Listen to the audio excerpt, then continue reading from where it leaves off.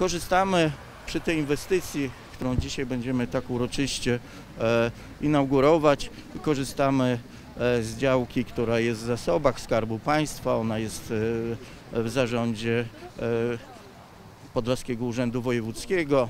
Tutaj z tyłu są takie budynki, które już są wykorzystywane w szeroko rozumianym zarządzaniu kryzysowym i chcemy zrealizować inwestycje w jak najszybszym e, terminie e, budowy takiego już prawdziwego zdarzenia e, Centrum Powiadamiania Ratunkowego. W 2013 roku, kiedy uruchamialiśmy wówczas Wojewódzkie Centrum Powiadamiania Ratunkowego, nawet w najśmielszych oczekiwaniach nie przewidywaliśmy, że to będzie, będziemy potrzebowali aż tylu pomieszczeń.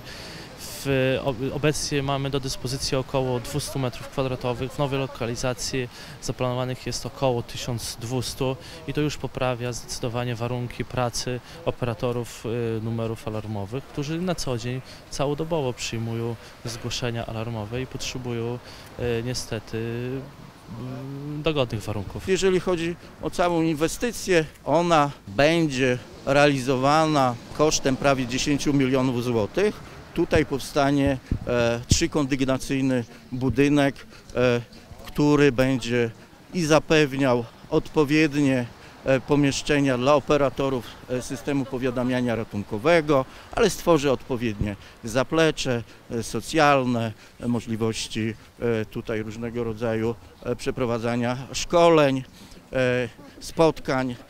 Także mam nadzieję, że spełnione zostaną z jednej strony te oczekiwania samych pracowników, z drugiej strony e, no też ta, chcemy, żeby ta sala operacyjna była jak najlepiej wyposażona,